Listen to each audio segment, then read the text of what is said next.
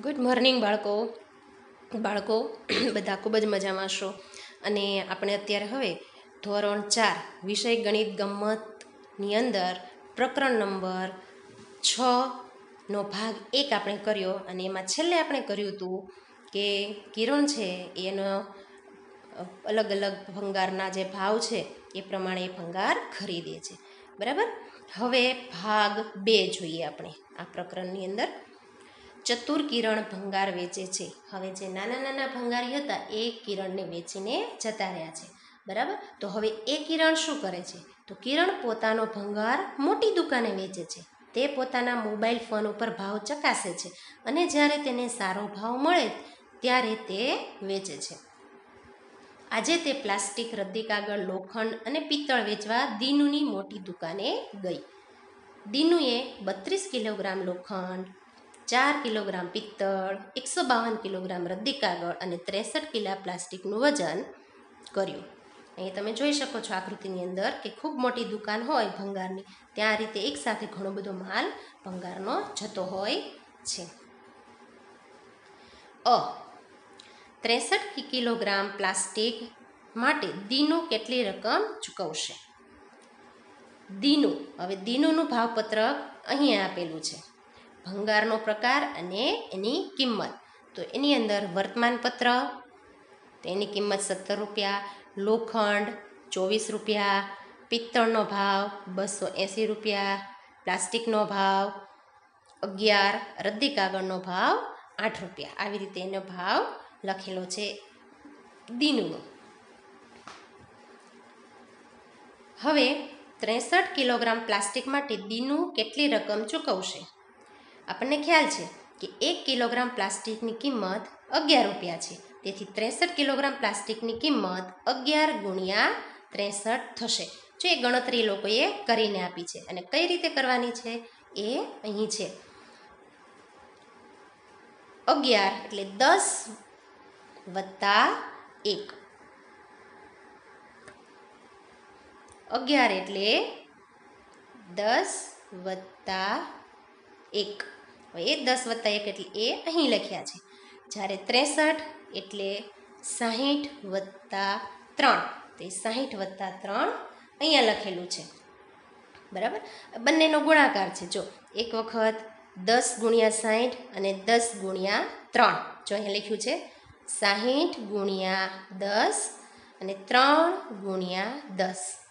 પછી સાહીઠ ગુણ્યા એક અને ત્રણ ગુણ્યા એક. તમે આનો આની સાથે પણ કરી શકો, આનો આની સાથે પણ કરી શકો, કોઈ પણ રીતે કરી શકો. હવે સાઠ ગુણ્યા દસ એટલે દસ, છ એકા છ અને બંને શૂન્ય, ત્રણ ગુણ્યા દસ, ત્રણ દાણ ત્રીસ. સાઠ ગુણ્યા એક એટલે સાઠ એકા સાઠ ત્રણ એકા ત્રણ. અને એ જે આવ્યો છે બધાનો સરવાળો કરવાનો છે. તો એ સરવાળો તમને અહીં આપેલો છે. છસો વત્તા સાહીઠ વત્તા ત્રીસ વત્તા ત્રણ. છસો વત્તા ત્રીસ વત્તા સાહીઠ વત્તા ત્રણ. તો ટોટલ કરો, તો છસો ને ત્રાણું રૂપિયા થાય છે. બરાબર?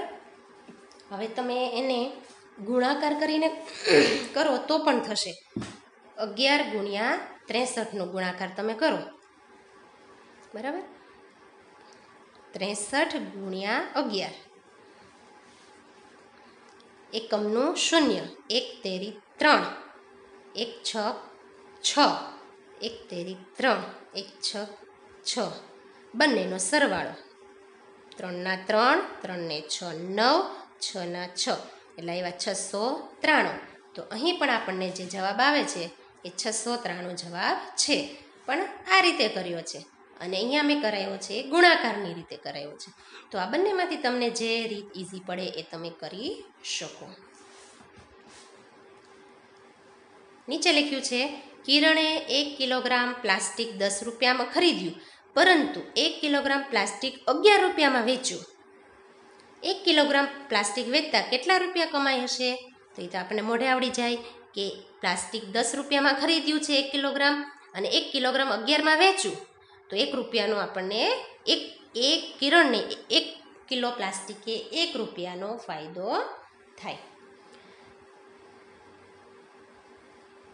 હવે ત્રેસઠ કિલોગ્રામ પ્લાસ્ટિક વેચી તે કેટલા રૂપિયા કમાઈ હશે? તો આપણને ખબર છે કે એક કિલોગ્રામ પ્લાસ્ટિકે એક રૂપિયો એ કમાય છે. તો ત્રેસઠ કિલોગ્રામ પ્લાસ્ટિક વેચે તો એ ત્રેસઠ રૂપિયા કમાય. આ મૌખિક છે બધા જ. બ.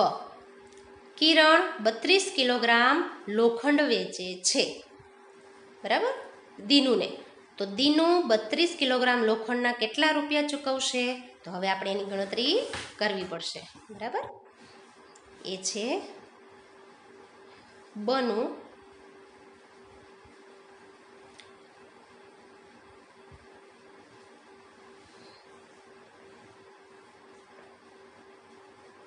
એક કિલોગ્રામ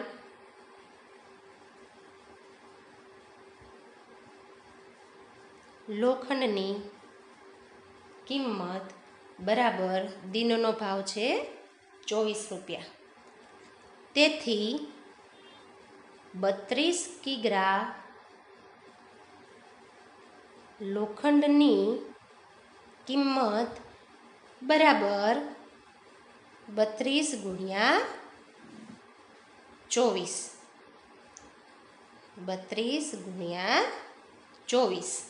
એકમનું શૂન્ય, બે દુ ચાર, બે તેરી છ, ચાર દુ આઠ, ચાર તેરી બાર, બંનેનો સરવાળો. આઠના આઠ, ચારને બે છ છ ને એક, સાત. તો આવશે જવાબ સાતસો ને અડસઠ રૂપિયા. બરાબર? હવે આ તમે બીજી રીતે પણ કરી શકો, જે મેં તમને પહેલાં પણ કીધું હતું, કે બત્રીસ ગુણ્યા ચોવીસ બરાબર.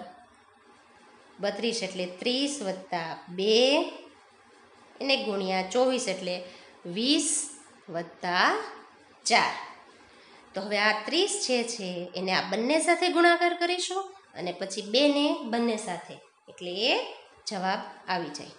ત્રીસ ગુણ્યા વીસ વત્તા ત્રીસ ગુણ્યા ચાર. વત્તા બે ગુણ્યા વીસ. વત્તા બે ગુણ્યા ચાર.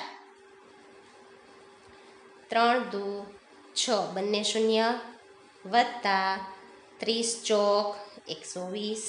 વત્તા વીસ દુ ચાલીસ, વત્તા બે ચોક આઠ. આ બધાનો સરવાળો કરો તો જવાબ આવશે સાતસો અડસઠ. એટલે તમને આ રીત અથવા આ રીત જે સહેલી લાગે એ કરવાની છે. બરાબર? પછી નીચે છે, કિરણ એક કિલોગ્રામ લોખંડ બાવીસ રૂપિયામાં ખરીદે છે. એ તો આપણા કિરણનો આપણે ભાવપત્ર જોયો હતો બરાબર? પરંતુ ચોવીસ રૂપિયામાં વેચે છે. જ્યારે બત્રીસ કિલોગ્રામ લોખંડ વેચે, ત્યારે એને કેટલા રૂપિયા એ કમાશે? તો હવે એ આપણે ગણતરી કરીએ. બરાબર? બનું બીજું.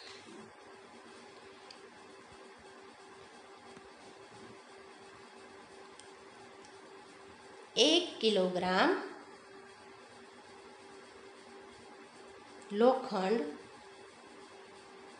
વેચવાથી રૂપિયા બે કમાય બરાબર? કારણ કે તમે બંનેનો એનો ભાવપત્રક તમે જુઓ. જુઓ આ છે કિરણનો, લોખંડના બાવીસ રૂપિયા છે. જ્યારે આ ભાવપત્રક ડીનોનો છે, લોખંડના ચોવીસ રૂપિયા. એટલે એને બે રૂપિયા એને મળે છે. એટલે કમાણી એક કિલોગ્રામ લોખંડ વેચવાથી કેટલી થાય? તો બે રૂપિયા. તો બત્રીસ કિગ્રા લોખંડ વેચવાથી કેટલી મળે? તો બત્રીસ ગુણ્યા બે. બત્રીસ તો ચોસઠ રૂપિયા મળે છે. બરાબર? તો અહીંયા આવશે ચોસઠ રૂપિયા. પછી ક. દીનું એકસો બાવન કિલોગ્રામ રદ્દી કાગળના કેટલા ચૂકવશે? બરાબર? એ તો તમને અહીંયા કરીને આપ્યું છે. એક કિલોગ્રામ રદ્દી કાગળનો ભાવ આઠ રૂપિયા છે. તેથી એકસો બાવન કિલોગ્રામ રદ્દી કાગળની કિંમત આઠ રૂપિયા એકસો બાવન કરવાનું છે, બરાબર? એટલે આઠ ગુણ્યા એકસો ને બાવન, તમે સીધો ગુણાકાર પણ કરી શકાય. અથવા એકસો બાવન એટલે સો જો અહીંયા એકસો બાવન, બરાબર? એકસો પચાસ વત્તા બે. તો સો વત્તા પચાસ અને બે. અને આઠ સાથે ગુણાકાર. એટલે આઠ ગુણ્યા સો પછી આઠ ગુણ્યા પચાસ, બે આઠ ગુણ્યા બે અથવા સો ગુણ્યા આઠ, પચાસ ગુણ્યા આઠ, બે ગુણ્યા આઠ એમ પણ બોલી શકો. એને ગુણાકાર કર્યા છે તો સો ગુણ્યા આઠ એટલે આઠસો, પચાસ ગુણ્યા આઠ એટલે આઠ પંચા ચાલીસ એટલે ચારસો અને બે અઠ્ઠા સોળ. હવે આ બધાનો અહીંયા સરવાળો કર્યો છે તો એક હજાર બસો ને સોળ રૂપિયા થયા. બરાબર? હવે અહીંયા એવું લખ્યું છે કે આઠ ગુણ્યા સો બરાબર આઠસો, તેથી જવાબ આઠસોથી વધુ આવે. શું જવાબ હજારથી ઓછો આવશે? તો એક હજાર બસો સોળ જે હજારથી વધારે છે. એટલે હજારથી વધારે થશે. અહીંયા લખ્યું છે, મેં એક કિલોગ્રામ રદ્દી કાગળ સાત રૂપિયામાં ખરીદ્યા, પરંતુ આઠ રૂપિયામાં વેચ્યા. તો એકસો બાવન કિલોગ્રામ રદ્દી કાગળ વેચતા મને કેટલા રૂપિયા મળે આ મૌખિક છે. સાત રૂપિયામાં ખરીદી, આઠ રૂપિયામાં વેચો, એટલે એક રૂપિયો એક કિલોગ્રામના મળે છે. તો એવા આપણે કેટલા વેચવાનું કહે છે? એકસો ને બાવન. તો એકસો બાવન કિગ્રાએ એક કિગ્રાએ એક રૂપિયો મળે તો એકસો બાવન કિગ્રાએ મળે એકસો ને બાવન રૂપિયા.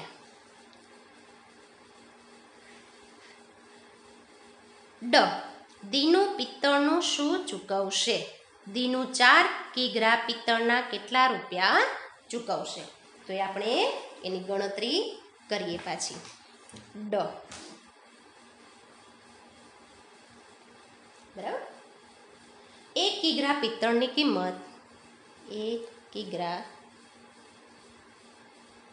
પિત્તળની કિંમત બરાબર રૂપિયા બસો એંશી. તેથી ચાર કિગ્રા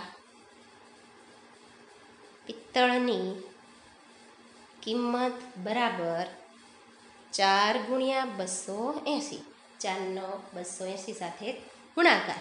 બસો એંસી ગુણ્યા ચાર. ચાર શૂન્યનું શૂન્ય. આઠ ચોક બત્રીસ. બત્રીસના બે વધી ત્રણ. ચાર દુ આઠ. આઠ ને ત્રણ. અગિયાર. એક હજાર એકસો વીસ રૂપિયા થયા. બરાબર? તો અહીંયા લખવાનું છે કે દીનું ચાર પિત્તળના કેટલા રૂપિયા ચૂકવશે? તો રૂપિયા એક હજાર એકસો વીસ. પાના નંબર સડસઠ ઉપર જુઓ. પહેલાં જવાબનું અનુમાન કરો અને પછી ગણતરી કરો.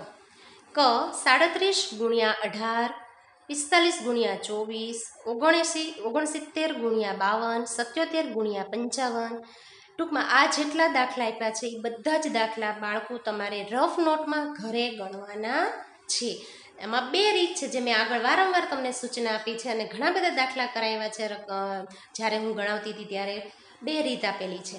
તો બેમાંથી તમને જે ગમે એ રીત તમે કરી શકો. ગુણાકારની રીત કરી શકો અને એનું વિસ્તરણ કરીને પણ કરી શકો. વિસ્તરણ એટલે આગળ મેં કીધું એમ, ધારો કે સાડત્રીસ છે, તો ત્રીસ વત્તા સાત ગુણ્યા અઢાર એટલે દસ વત્તા આઠ. અહીંયા ચાલીસ વત્તા પાંચ ગુણ્યા વીસ વત્તા ચાર.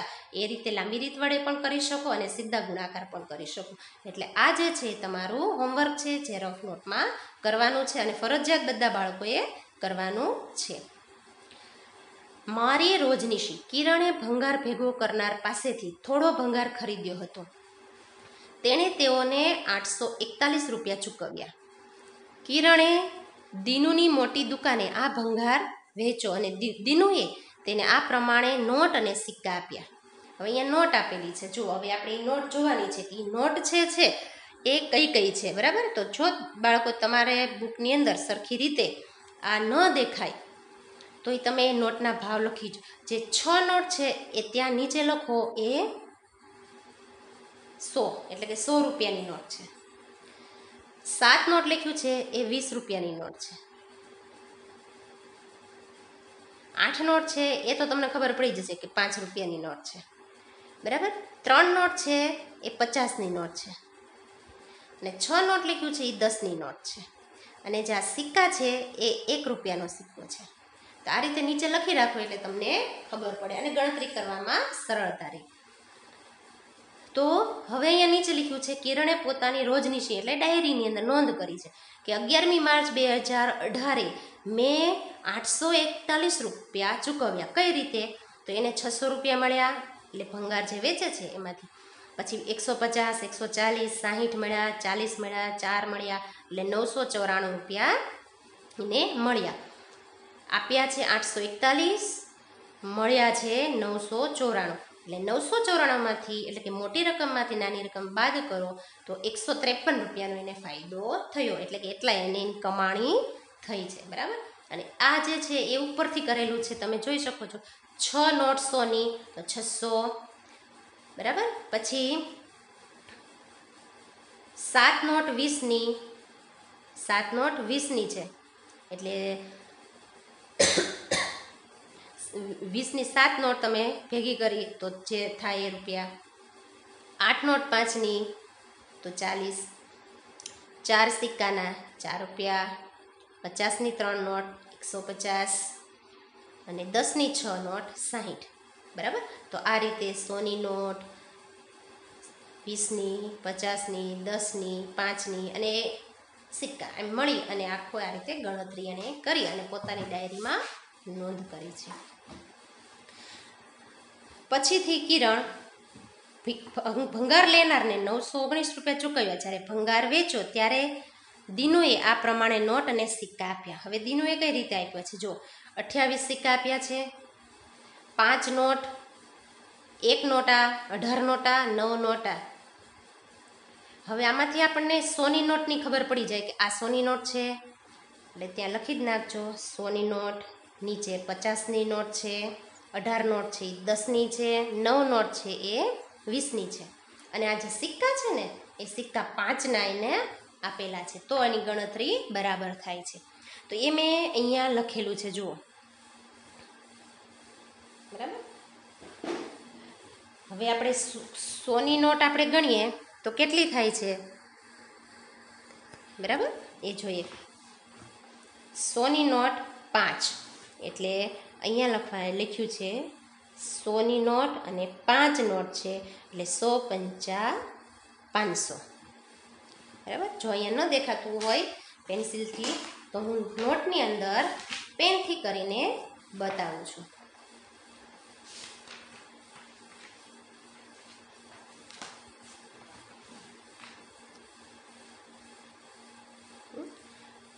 સોની નોટ પાંચ બરાબર? પછી નીચે છે પચાસની નોટ એક. તો આ પચાસની નોટ એક. અઢાર નોટ છે દસ રૂપિયાની. તો દસ રૂપિયાની અઢાર નોટ. પછી નવ નોટ છે વીસ રૂપિયાની. તો વીસ રૂપિયાની નોટ નવ. બરાબર? પછી સિક્કા, અઠ્યાવીસ સિક્કા છે. તો પાંચના સિક્કા છે અઠ્યાવીસ. હવે આ બધાનો આપણે સરવાળો કરીએ. સોની પાંચ નોટ, એટલે કે સો પંચા પાંચસો રૂપિયા. પછી પચાસની નોટ એક, એટલે પચાસ રૂપિયા. દસ નોટ અઢાર નોટ છે દસની, તો એકસો એંસી રૂપિયા. વીસ નોટ, વીસની નોટ નવ છે, તો બે નવા અઢાર, એટલે પાછા એકસો એંસી રૂપિયા. અને પાંચના સિક્કા અઠ્યાવીસ છે, એટલે એ થશે એકસો ને ચાલીસ રૂપિયા. આ બધાનો સરવાળો કરવાનો છે. શૂન્ય, પાંચ વત્તા આઠ વત્તા આઠ વત્તા ચાર. એટલે પાંચ ને આઠ તેર અને બાર એટલે પચીસ વધી આવી બે, પાંચ, છ, સાત, આઠ ને દસ.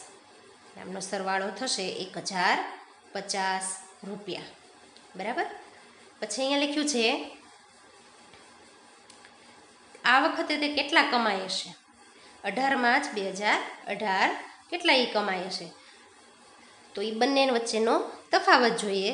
તો તફાવત બરાબર રૂપિયા એક હજાર પચાસ ઓછા રૂપિયા. અહીંયા ઉપર લખ્યું છે કે ભંગાર લેનારને નવસો ઓગણીસ રૂપિયા ચૂકવ્યા. તો નવસો ઓગણીસ રૂપિયા એમાંથી બાદ કરી નાખીએ. એટલે મળે રૂપિયા એકસો ને એકત્રીસ. એ કમાઈ હશે. બરાબર? તો બાળકો, અહીંયા આપણું આ પ્રકરણ પૂરું થાય છે.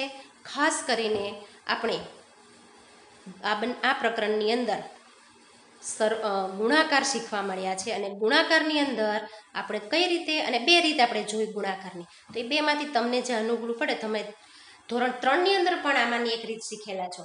તો એ જો તમને વધારે અનુકૂળ પડતી હોય, તો તમે એવી રીત પણ કરી શકો છો. અને સાદી ગુણાકારની રીત ફાવતી એ પણ કરી શકો છો. અને આપેલું જે હોમવર્ક છે, એ હોમવર્ક તમારે કરવાનું છે. અને આની વિશેના જે બીજા દાખલા છે એ હું તમને પાછા કરાવીશ. Thank you